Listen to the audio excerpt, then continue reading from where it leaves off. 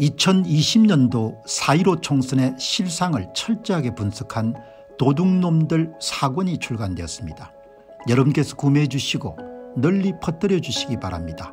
선거를 바로 세우고 나라를 바로 세우는 정의로운 길에 여러분께서 적극 힘을 더해 주시기 바랍니다. 감사합니다. 안녕하십니까 공병호입니다. 여러분 대한민국의 이 공직선거를 좀 공정하게 치를 수 있는 방법은 아주 간단한 방법은 그냥 사전투표를 없애는 겁니다. 그리고 법정 공휴일인 당일 투표일에 다 가서 투표하면 되는 겁니다. 이렇게 여러분들 간단한 방법을 끝까지 여러분들 사전투표를 고집하는 이유는 결국 사전투표를 해야 득표수를 조작할 수가 있으니까 그 이유밖에 없다고 봅니다. 선거관리위원회가 사전투표를 그만둘 수가 없다 그렇게 생각하면 원래 법이 규정한 대로 사전투표 용지에 QR코드 쓰지 말고 바코드 쓰면 됩니다. 법대로. 그리고 투표지는 투표지가 정본임을 입증하려면 투표지를 교부할 때 투표관리관에 사적인 도장 사인을 써야 되는 겁니다. 그거를 여러분들 선관위가 전국적으로 일률적으로 여러분들 인쇄를 해가지고 그 이미지를 다 제공하는 것은 법을 위반하는 거지 않습니까 저도 이런 이야기하는 거 참 이야기하면서 좀 참담합니다.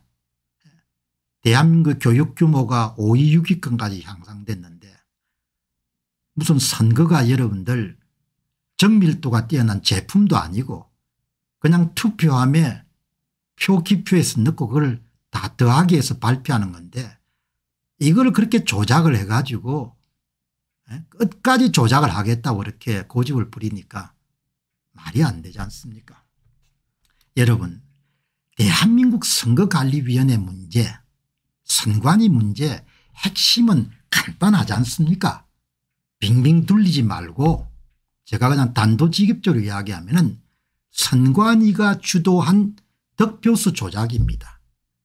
여기서 주의해야 될 건 선관위가 주도했지만 선관위를 주도했다고 해서 선관위 내부 인력이 직접 여러분들 조작 작업을 했는지 아니면 아이디나 패스워드를 가지고 이런 컴퓨터를 개방해가 서버를 개방해 주고 외부에서 뭡니까 그렇게 조작했는지는 검찰 수사가 이루어져야 정확하게 알 수 있겠죠. 투표지 분류기를 주로 많이 사용한 것 같은데 그것도 이런 검찰 수사가 이루어져야 투표지 분류기 외에 어떤 전산 장비를 그렇게 사전투표 득표수 조작에 사용했는지 알 수가 있겠죠. 여러분 그러나 명확한 것은 대한민국 선관위 문제의 중심은 핵심은 본질은 바로 선관위 주도 득표수 조작입니다. 선관위 주도 사전투표 득표수 조작입니다. 선관위 주도 득표수 정감입니다. 정가와 감소입니다. 공직선거법에 보게 되면 선거 사무에 관련된 자들이 득표수 증가와 감소 및 위조 행위에 여러분들 관여했을 때는 중벌을 때리도록 되어 있지 않습니까 선관위 득표수 조작이 가장 핵심적인 문제입니다. 뭐 다른 것은 수사해야 되겠지만 채용비리 수사해야 됩니다. 그럼에도 불구하고 그것은 그냥 격가진 겁니다. 필요하지만 중요한 것은 아니라는 겁니다. 여러분 이게 이게 2022년도 윤석열 대통령이 등장하고 나서 5월 9일 날 취임하시고 6월 1일 날 한 달이 채 되지 않아 실시했던 2022년 6월 1일 전국 동시지방선거의 충청남도 선거입니다. 관외 사전투표를 어떻게 조작했는지를 나타내는 도표입니다. 이 그래프는 차이값 그래프입니다. 관외 사전투표 득표일 빼기 당일 투표 득표율을 후보별로 구한 겁니다. 국힘당의 김태흠 후보 보시기 바랍니다. 예상군에서 마이너스 11.7%입니다. 더불어민주당의 양성조 후보면 플러스 11%입니다. 모든 마이너스 값하고 플러스 값이 충청남도 16개 선거구에 동일합니다. 무슨 이야기입니까 국힘당 김태흠으로부터 훔친 득표수만큼을 사전투표 득표수만큼을 누구와 함께 쑤셔 넣어줬다는 이야기입니까 더불당의 양성조 후보와 함께 쑤셔 넣어준 것을 그냥 말하는 겁니다. 이게 충청남도 같은 경우는 후보가 3명 4명이 등장한 것이 아니고 딱 두 사람만 등장했기 때문에 좌우가 착하게 일치하는 값이 나오는 겁니다. 예상군의 마이너스 11.7%를 김태형 후보가 뺏겼다는 이야기는 우편 투표 투표자 수의 11.7%를 훔쳐가지고 전산적으로 더불어민주당 양승조한테 플러스 11.7%를 해준 겁니다. 그러면 여러분들 총 이동한 득표수 증감 규모라는 것은 23.4%를 이동시킨 겁니다. 23.4% 그러니까 100명이 여러분들 투표에 관해 사전투표를 했으면 은 23.7명에 해당하는 득표수가 이동한 겁니다. 여기서 .7이니까 반올림해 가지고 24명이 되겠죠. 이렇게 여러분들 조작이 된 겁니다.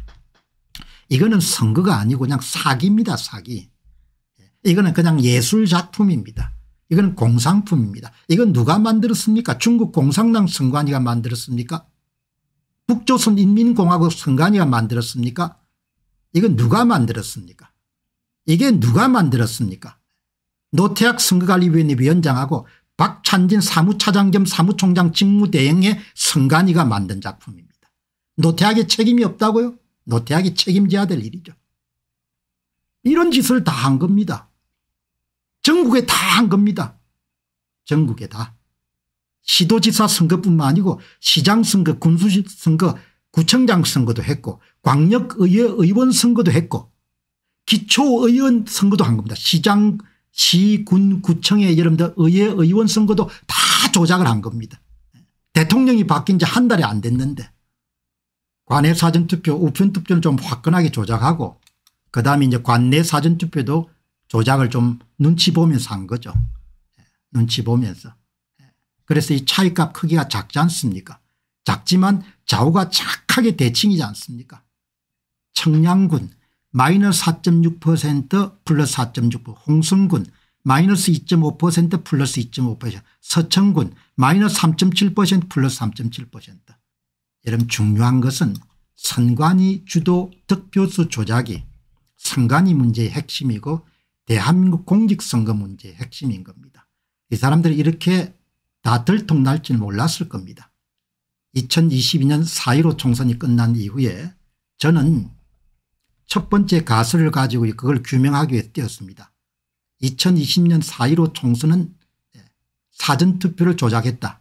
그 가설이 입증되고 난 다음에 그다음에 제야 전문가의 도움을 받아가지고 27년 대선 2028 18년 지방선거 2021년도 보궐선거 2022년도 대선 지방선거 2023년 4월 5일 보궐선거까지 전부를 다 여러분들 간통한 다음에 어떤 것을 입증했습니까 2017년 대선부터 문정권 하에서 다섯 번 윤석열 정부 하에서 두 번에 일곱 번의 모든 공직선거를 선관위가 득표수를 조작했다는 겁니다.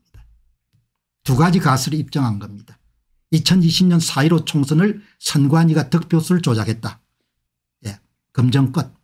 2017년 대선부터 문 정권의 다섯 번 공직선거 윤석열 정부의 두 번의 공직선거를 모두 다 동일한 방식으로 다른 조작값을 사용해 가지고 다 선관위가 득표수 조작했다. 선관위 주도 득표수 조작이 가장 핵심적인 문제입니다. 국민을 대신해 가지고 지도자를 선관위가 뽑아온 겁니다. 당선자를 때로는 낙선자로 만들고 낙선자를 때로는 당선자를 만드는 누가 선관위가 만들어 온 겁니다. 책임을 지도록 해야 되는 거죠. 수사해야 되는 겁니다. 그래서 여러분들 이렇게 거짓을 여러분들 폭로하는 책이 나와도 한마디도 못하는 겁니다. 숫자로 다 도둑질한 것을 다 밝혔기 때문에 이런 책이 나와도 한마디도 할 수 없는 겁니다. 숫자로 다 도둑질을 밝혔기 때문에 이 양반들 국민들한테서 용서를 받을 수 없는 겁니다. 노태학의 그 가정서는 웃음 보시기 바랍니다. 한양 법대를 나와 네가 대법관이야 그래 보자. 인간들이 그렇게 살면 안 되는 거죠. 뭐 천년 백년 살 겁니까 자식들이 다 있고 아이들 있고 결혼들을 벌써 했을 테니까 예, 좀 빨랐으면 애들이 손자 손녀도 있겠죠. 그렇게 사는 거 아닙니다. 득표수 조작을 여러분 이거 한번 보시기 바랍니다. 이거는 세종시입니다. 똑같지 않습니까 조작을 해놓으니까 마이너스 4.2% 플러스 4.2% 관내 사전투표 차이값입니다. 관내 사전투표 우편투표 마이너스 5.2% 플러스 5.2% 표를 훔쳐가지고 훔친 만큼 더해줬으니까 이런 그래프가 나오는 겁니다. 훔친 만큼 더해줬으니까 훔친 만큼 더해줬으니까 이런 그래프가 나오는 겁니다. 세종시는 딱 한 군데니까 세종 뭐 특별자치시입니까 예, 이렇게 나오는 겁니다. 뭐 이런 방송을 다룰 수 없는 그런 주제죠. 어떻게 여러분들 선거 사무를 담당하는 자들이 득표수를 조작을 밥 먹듯이 물 마시듯이 해오고 그걸 이제 덮고 넘어가겠다는 거 아닙니까 참 대단한 인간들이에요. 우리는 헌법기관이니까 선관위 독립성이 보장돼야 되니까 LA 도둑놈들아 이완용이보다 더 나쁜 놈들이죠. 멀쩡한 나라의 선거를 훔쳐가지고 국가를 전복시키려고 하니까 얼마나 나쁜 놈들입니까 그걸 또 덮는 인간들은 또 어떤 인간들입니까 말이 되는 짓들을 해야지. 자 정의가 이기겠죠. 마무리하도록 하겠습니다. 감사합니다. 2022년 지방선거에서 일어난 일을 낱낱이 밝힌 도둑놈들 5권 2022년 지방선거 어떻게 훔쳤나가 출간되었습니다. 이미 발간된 도둑놈들 1권 선거 어떻게 훔쳤나 2권 2022년 대선 어떻게 훔쳤나 3권 2022년 대선 무슨 짓을 했나 4권 4.15 총선 어떻게 훔쳤나에 이어서 다섯 번째 발간된 책입니다. 여러분께서 구매해 주시고 주변에 널리 알려주셔서 선거 공정성 회복을 위해 전국민 필독서가 될 수 있도록 힘을 대주시기 바랍니다. 감사합니다.